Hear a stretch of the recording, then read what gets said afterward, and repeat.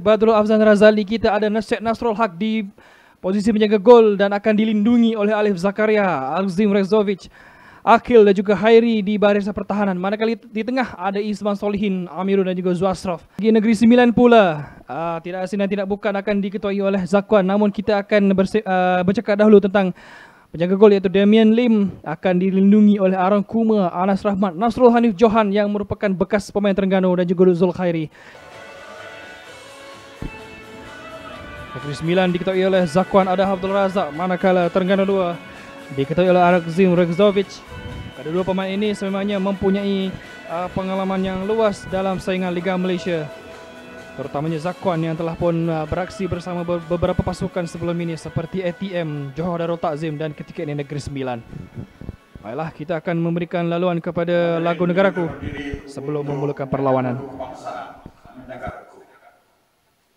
Diberikan tanggungjawab sebagai penggempur utama sambil dibantu oleh Zakwan dan juga uh, Akono. Dan itu dia pengadil perlawanan meniupkan whistle. Tandanya bermula diambil oleh Amirul. Cuba mencari Azim tandukan keluar oleh Francis Kone. Namun perlawanan masih lagi dalam kawalan Terengganu menerusi Syafiq. Ditanduk keluar di sana oleh Khairi.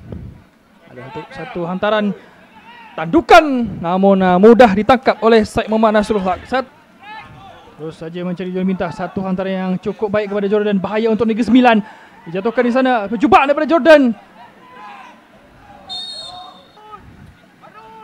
Kau melebarkan ke sebelah kanan kepada Aaron Kuma satu hantaran oleh Aaron. Tandukan namun tidak berjaya dihalang di sana. Bola masih lagi dalam kawalan Negeri Sembilan. Namun kehilangan bola kepada terus hantaran dilakukan kepada Zamri di sana. Hantaran oleh Zamri.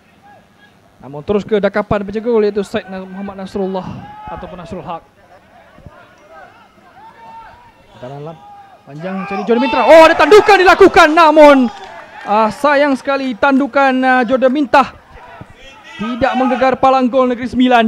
Oh, secara tiba-tiba sahaja Jordan minta kita dapat saksikan bagaimana tandukan ke belakang sebenarnya dilakukan oleh Jordan namun sayang sekali tandukan beliau tidak menepati sasaran.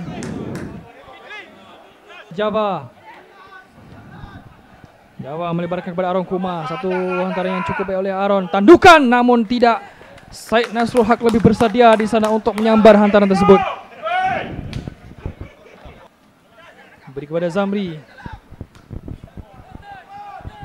Kepada Akono Satu hantaran dilakukan Cuba mencari corner namun tidak berjaya. Namun masih lagi uh, Bola dalam kawalan uh, negeri, ter, uh, negeri Sembilan. Uh, Namun percubaan uh, Arang Kuma Tidak menepati sasaran di sana.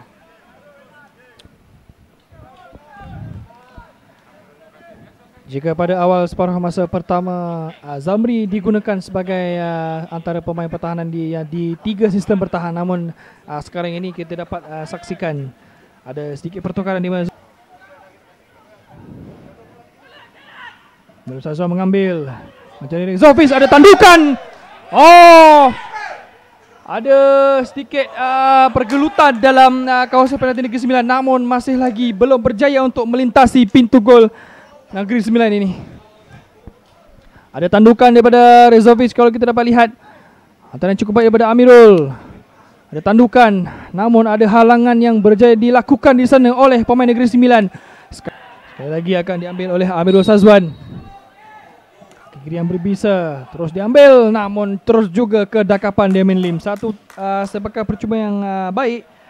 Akan tetapi Damian Lim lebih bersedia di sana.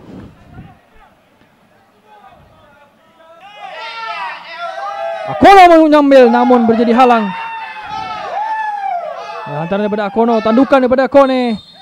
Namun ada rempuhan daripada Kone sekaligus memberikan sepakan percuma kepada Terengganu 2. Lebarat Kuma.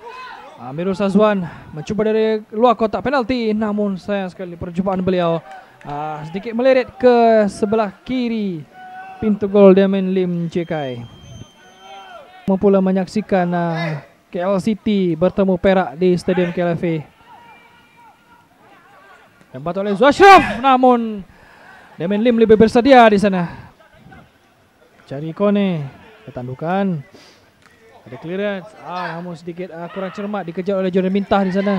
Masih lagi Jordan berpusing cuba melepasi ini namun sekarang Amir Sazwan melembat itu tambatan namun gagal menemui jaringan sebaliknya hanya menggagarkan palang gol Terengganu 2 ataupun Negeri 9. Hah, sayang sekali. Peluang keemasan dimiliki setelah kerja keras dilakukan oleh Jordan Mintah.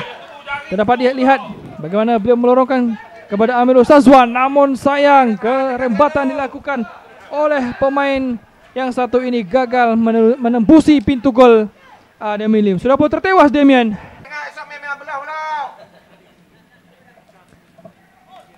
Lantaran ke dalam dilakukan clearance. Oh, ada sentuhan tangan daripada Barat Kuma di hadapan pin kawasan penalti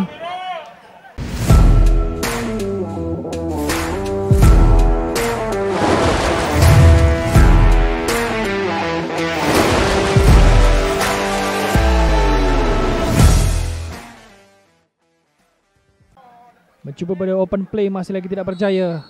Peluang keemasan bagi Terengganu menerusi Jordan Minta dan itu dia gol pertama perlawanan. Menerusi Jordan Minta. Tidak mengambil masa yang lama Jordan terus saja membuat satu rembatan dan memecah kebuntuan di Kuala Terengganu antara Terengganu FC 2 menantang Negeri Sembilan di Stadium Sultan Ismail Nasruddin Shah Kuala Terengganu. Hah. Sepakat penyembahan? Cukup baik Rendah Dan berjaya mengelirukan Damian Lim Bagi memberikan gol pertama Terengganu 2 Pada perlawanan malam ini.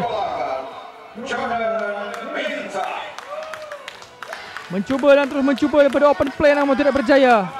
Dan sepakan percuma yang cukup-cukup baik dilakukan oleh Jordan Sekaligus memberikan gol pembukaan kepada pasukan beliau. Airi pada Musliudin Atik. Syafiq Ismail kembali kepada Hairi. Cantik Syafiq Ismail satu hantaran kepada Syafiq. Jordan minta namun sayang sekali Jordan gagal menjadikan gol kedua. Oh saya sedikit terkesima. Jordan gagal untuk menyempurnakan hantaran tersebut. Pintu gol sudah pun luas terbuka untuk Jordan. Kita saksikan luang tayang bagaimana hantarannya cukup baik dilakukan oleh uh, Syafiq Ismail tinggal menyentuh saja bola tersebut dan ah sayang sekali, sayang seribu kali sayang. Sudah Bintah gagal untuk menjadikan gol kedua. Damien Lim sudah jauh. Masih lagi dalam kawalan Akono. Selvan, masih lagi cantik kawalan dari Selvan. Lempar dari Selvan namun terjadi nafikan oleh Said Nasrul Haq. Masih sebagai suntuk, mungkin hantaran. Ditumbuk oleh Syed Nasrullah ataupun Nasrul Haq. Selvan, lagi Selvan berseorangan Selvan cuba melepasi barisan pertahanan. Atau antara dilakukan namun ketiadaan sokongan memudahkan Said Nasrul Haq.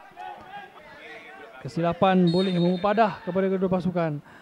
Bamju menghantar ditumbuk di sana oleh Said Nasrul Haq. Dibawa lari oleh Muslimin Atik. Pemain gantian